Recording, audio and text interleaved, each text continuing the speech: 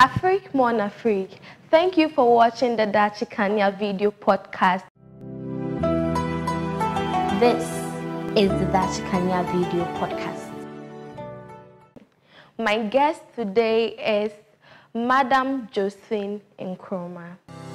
In Africa today, when people think about leadership, they mostly think of politics and dictatorship. Meanwhile, many Africans are conquering other sectors in spite of their meager resources. Daakye Kanea shares the experiences of these African leaders with you to help build the leadership skills of upcoming African leaders, both at home and abroad. Thank you very much for being on the show today. Thank you so much for having me. It's a delight to have the young ones around us. All right, so I'm fired up for the show today, and I hope you're also fired up. I have been looking forward to it, so let's go. Let's start by talking about your family. So, who is Madame Josephine Nkrumah? Okay, so everybody called me when I was growing up Nana because my, my, my native name is Nanefwesh Mama. But when I went into secondary school, it quickly changed to Josie because I'm Josephine, so the short form. And so over the years, I've come to be known as Josie, even at home. So growing up, my nucleus family come from a family of, um, let's say, six. I have three other siblings, um, a sister, two brothers, and of course my, my parents. Came from a very strict background. My father is a retired naval captain. My mother, who passed on some 16 years ago, was um, a devoted housewife, uh, even though she did her own little trading on the side. And so I come from a humble background, um, but my parents nurtured certain values with me, and I think these values have been the cornerstone of my life ever since. Discipline, honesty, integrity, hard work, and humility. So I quickly learned at home that um, leadership came with responsibility and it wasn't a matter of your position as being the first and so you lorded it over anybody. On the contrary, you expected to guide and take care and lead by example. So that's the kind of background I came from. And of course, I've always, I've, i grew up in Ghana. All my schooling was in Ghana. I went to Association International School as a young child and moved on to Infantsman Girls Secondary School then. And then went on to the University of Ghana and then the Ghana School of Law. And then finally finished off at the um, IMO International Maritime Law Institute where I studied maritime law for my master's in law. So that pretty much is my background. So what are some of your hobbies? Mm.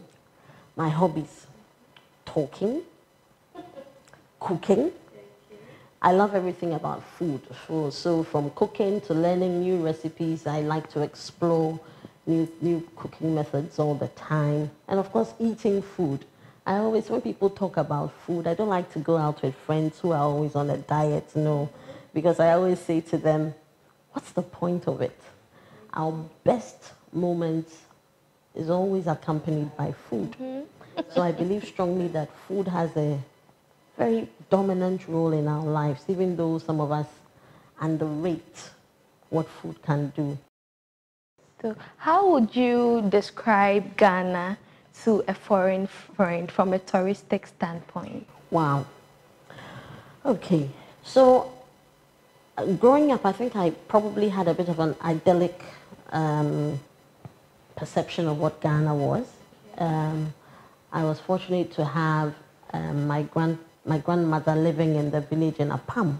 So for me, growing up was like, okay, you come to the city and there's a city life, but there was also the village life that was peaceful, where you got to enjoy nature and intermingle with, you know, your relatives back home. So growing up, that is the little I knew. I knew Takoradi, I knew the Takoradi Harbor, and then you went to the Akos, um, Akosombo Dam, and those were the exciting things we did. But um, I also wanted to see a lot more. I, I love to travel as well. So I on my own, I would take trips to certain parts of Ghana, you know, to certain parts of Ghana. I believed I wanted to see a lot more of Ghana. So um, it wasn't, then it wasn't as exciting as it is now because you didn't really have that many hotels and you still don't have them. But it gave you the opportunity to see Ghana. And I always associated traveling outside Accra as getting at one with nature. So I, I always saw nature as one of our, our, our, our great points as, um, as, a, as, as a country where we had beautiful nature that people could explore from the hills of Afadjato, the mountains of Afadjato to the beautiful beaches along the coast. We had the castles to see and all of that was truly amazing to me. And so I thought Ghana was really a beautiful country. And they, um, joining public service and in the job that I currently do as the chairperson of the National Commission for Civic Education, it's been a privilege for me because it's given you, you know, access to every part of the country. So I think there's so much in Ghana to see and in every region there is something that expresses what makes us Ghanaian and what makes us unique and what makes it almost irresistible to come and see Ghana. Okay, so on that note, what other country do you, African country do you admire most aside Ghana? I think I admire Ethiopia. Ethiopia? Yeah. Why? I admire Ethiopia because, as they would proudly tell you, they are the only African country that was not colonized. Okay. So they will tell you that with pride. But there is something about Ethiopians that I wish we could imbibe in Ghana. There is a certain fierce sense of pride of being Ethiopian, of eating Ethiopian, dressing Ethiopian, doing everything Ethiopian. So you find that even though I have not been to Ethiopia, I have I have listened to my friends who've lived there. I've read about it. I've had the opportunity to fly some of their aircraft, to, you know, to travel in their aircraft. And they are such a proud African country to exhibit what is Ethiopian. And they do so with pride. You know, it's, it's, so, it's almost etched in their DNA. And that is what I admire and I'd like to see in Ghana. It's not a perfect country, but which country is anyway? So I think there's a lot that we can learn from them as Ghanaians. But um, in, in Ethiopia, there is a certain heritage they treasure, that they, they, they preserve, and that they ensure that it's passed on from generation to generation. Awesome. Yes. so how would you personally define leadership? Hmm. So my idea of leadership is predicated on my childhood. As I said, growing up, the fact that you were the older one meant more responsibility. It also meant service. So I see leadership really as service. I don't see leadership as a, a title so to speak, that everybody must, you know, kowtow to you. But I believe very much that leadership is all about service. That is how I see leadership. So can you name an African leader who has had an impact on you as a leader? Hmm. An African leader who has had an impact on me, I, are you talking about political leadership? Any. Okay, so I really would start from my parents. Okay. They were the leaders of the home. Okay, so I had that strong upbringing from my parents. And as I said earlier on, that is what guided me. But growing up, perhaps I have a certain penchant for um, what is Nkrumah because I'm in Nkrumah and I'm, I'm, there's actually um, a connection. Yes. So um, we grew up um, with more history. And we, we truly idolized Nkrumah. I find him as one of the few visionary leaders of our time. And like no one, like everyone else, he wasn't perfect, but he had a lot to offer Ghana. And um, many of the things we see today are still a testament for his visionary leadership.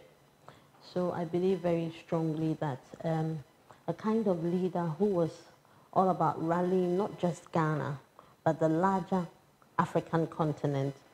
A lot has to be said for his, his leadership rule and actually galvanizing other leaders in Africa to begin to um, agitate for independence. And during that time, we actually did see a lot of independence um, following Ghana's independence. And it is not for nothing that he, he saw us as the black star of Africa and the shining light. And I think in deep down, st we still have that in us as Ghanaians. We want to um, take the lead in certain things. And um, I mean, look at what we are going through in COVID today. And we are one of the few African countries who have been commended for, you know, the, the strong leadership that we've had in fighting or containing and combating the coronavirus. And I think um, it goes to show that there is indeed something in Ghana that makes us a special people. And I'm proud to be Ghanaian. So what makes an African leader stand out in the crowd of mediocrity?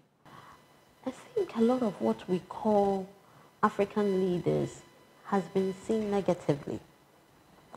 You have globally, when we talk about African leaders, a lot of people think about corruption, they think about dictatorship, they think about um, old men in the, in, you know, running the affairs of a country for their own personal interest. But I don't think it is representative of leadership in Africa. And by leadership, is, I'm not necessarily referring to leadership where people are elected or appointed. There is a leader in each one of us. And in every corner that you work or that you thrive as a human being, there is something in you that makes you stand out as an individual. And so there, there are innate, people who are born with the innate qualities of leadership. There are those that is thrust upon, and of course there are those that are elected and all of that. But I strongly believe that when we talk of African leadership today, we are talking of the leader who is visionary. We're talking of a leader who has a sense of an innovative approach to solving Africa's problems the African way. I think that as Africans for too long, we, we kind of inherited or it was thrust upon us a certain system, system of government, a certain system of governance and of doing things. So Africa as a continent, if you go back in history with all the scramble and partition for Africa, we have been compelled to build artificial borders. And that has largely driven the wars and ethnic ethnicity and you know chieftaincy wars all over Africa. And that has been a setback in Africa's progress. But I believe strongly that the African leader today must be the one that can inspire, inspire Africans everywhere to begin to want to do things for themselves the African way. And I think for, for today's leader, he must be somebody who can al allow the African mind to grow. And so the biggest, the biggest investment any leader will do today is to invest in the human capital.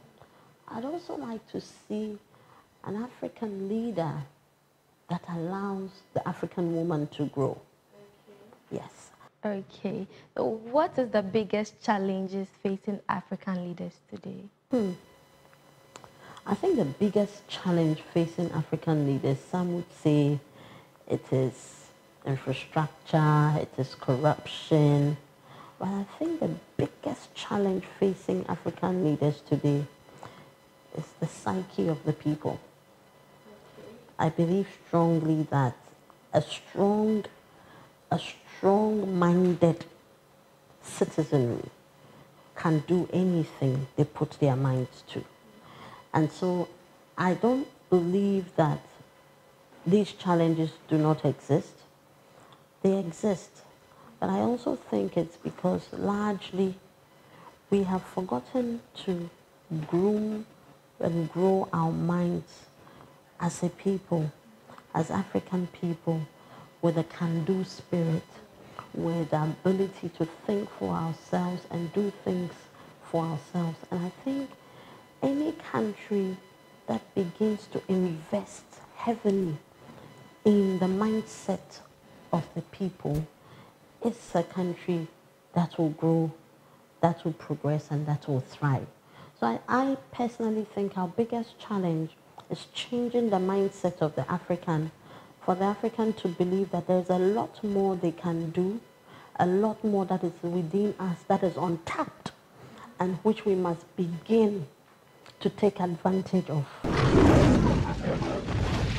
So what has been your defining moment, the aha moments that caused you to realize you could actually lead others?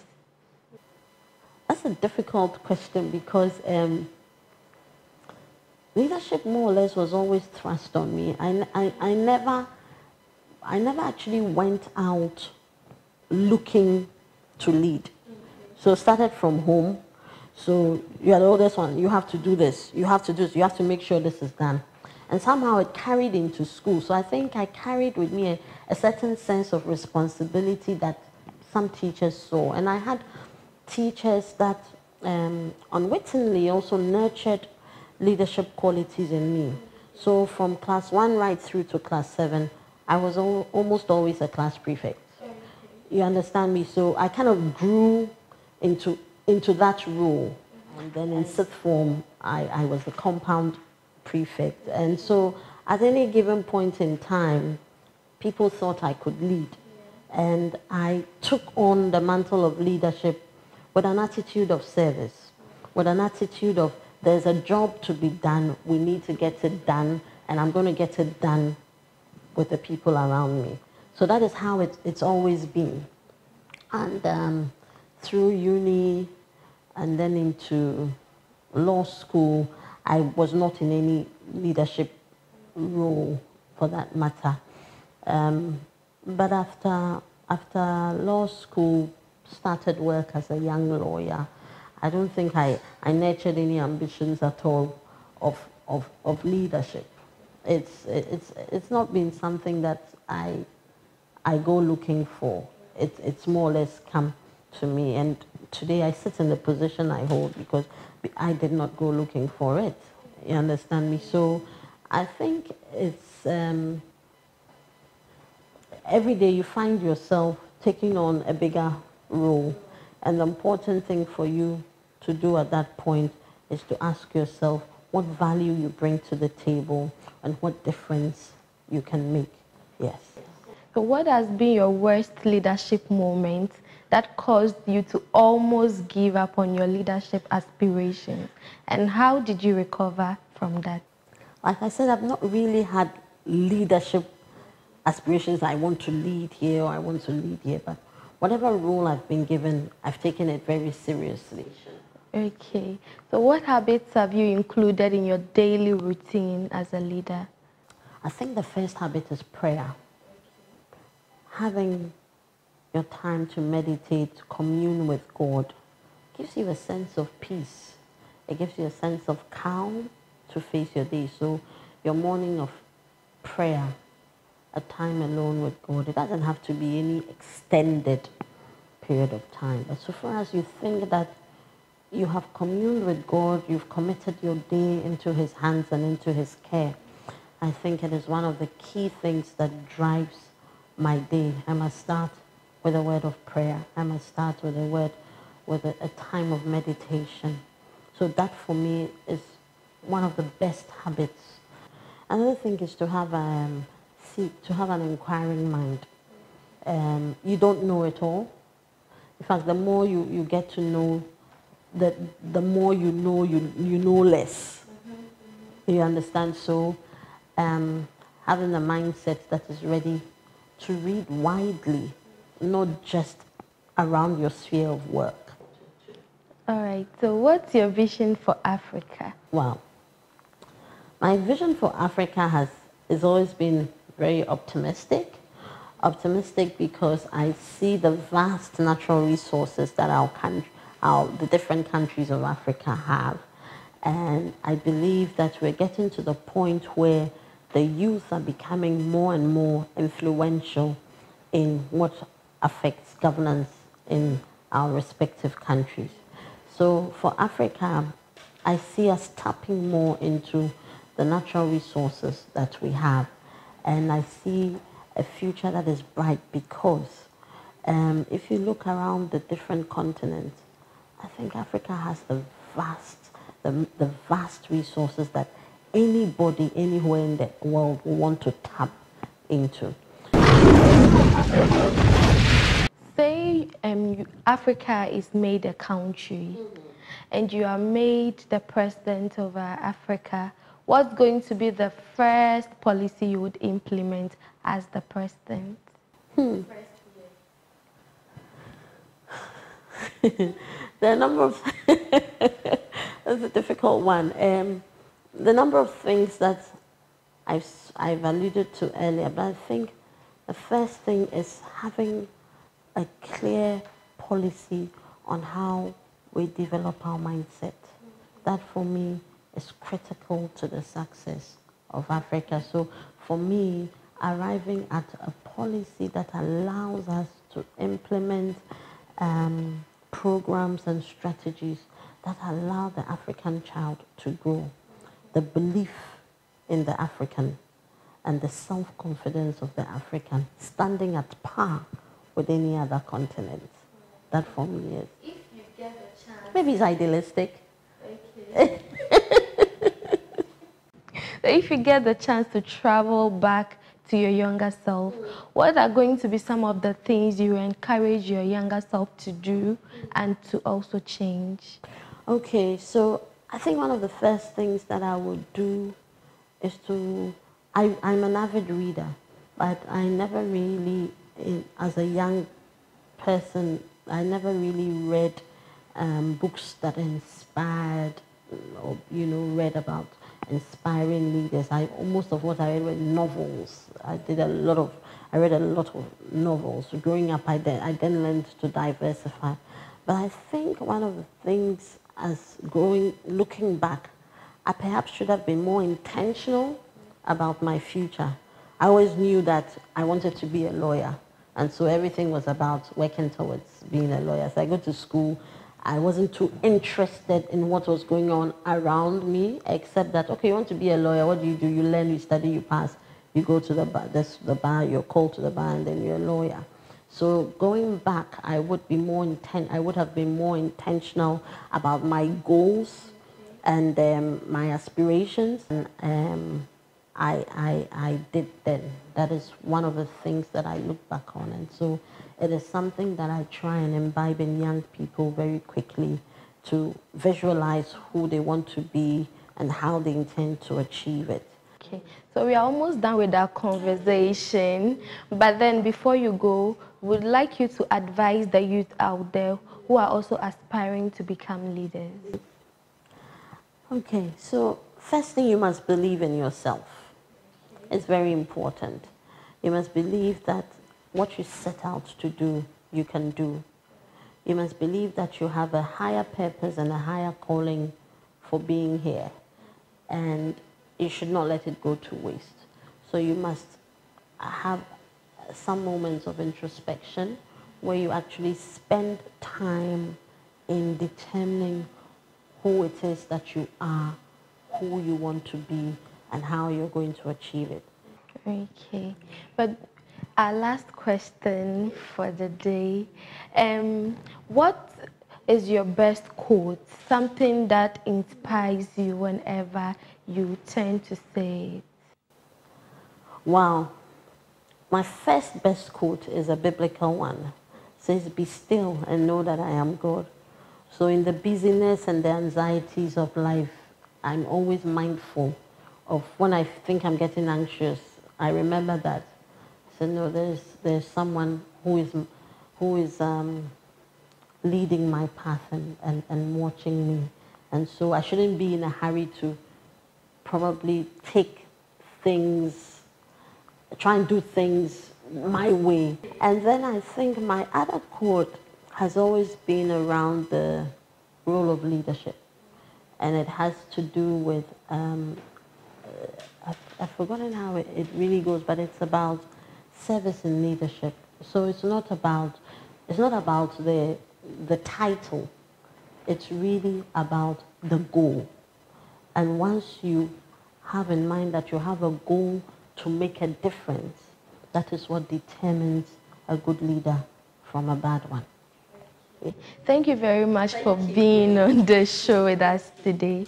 We really appreciate your efforts. Thank you. Time. Thank you. We wish you all the best in your endeavors.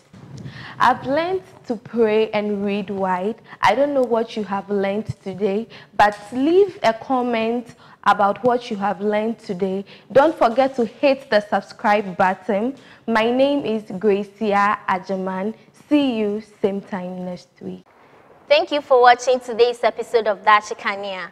I hope you have been inspired. Please follow us on our various social media platforms and please subscribe, subscribe, subscribe to our YouTube channel. See you in the next episode. Bye-bye.